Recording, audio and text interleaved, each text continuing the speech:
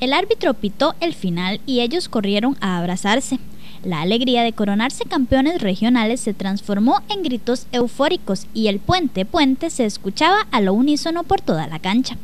Este grupo de muchachos tuvieron que afrontar la responsabilidad de mantener buenas notas y esforzarse al máximo para lograr el ansiado título de campeón y pase a las finales nacionales.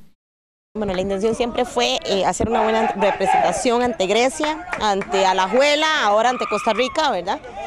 Los chiquillos súper complicados, sinceramente, eh, para el profe, para Joaquín, el asistente, que es el que les ha dado todo el soporte, porque son los que saben de, de deporte, yo de deporte no sé mucho, pero sumamente caro nos ha salido, los viajes, las bucetas no tenían con qué salir, a veces no tienen ni con qué entrenar y han superado todas las pruebas y con el esfuerzo y con todo lo que han hecho, pues están donde están, ¿verdad? Con un esfuerzo enorme. Entre los jugadores fueron notables las gracias a Dios y los agradecimientos a todas las personas que los apoyaron e hicieron posible llegar hasta estas instancias.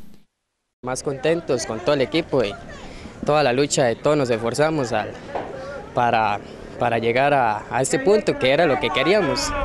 Y de felicitar a todos los compañeros, a, como a mí mismo.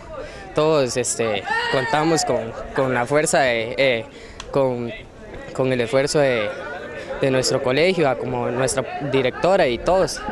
Más bien este, le agradecemos a todos y, a ustedes por transmitirnos.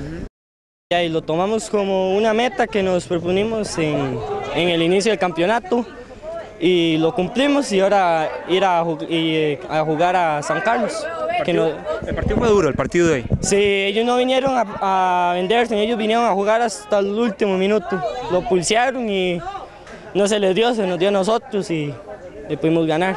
Ir con la mentalidad de seguir creciendo ahora San Carlos. Sí, creciendo y, y ser campeones.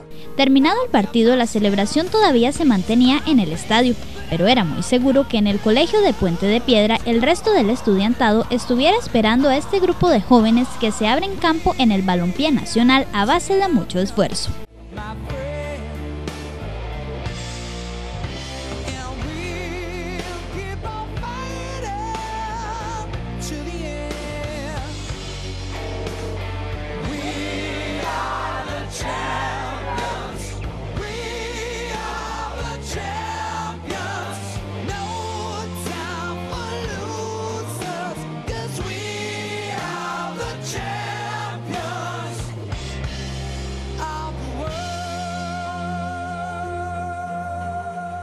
A statement about the bed of roses.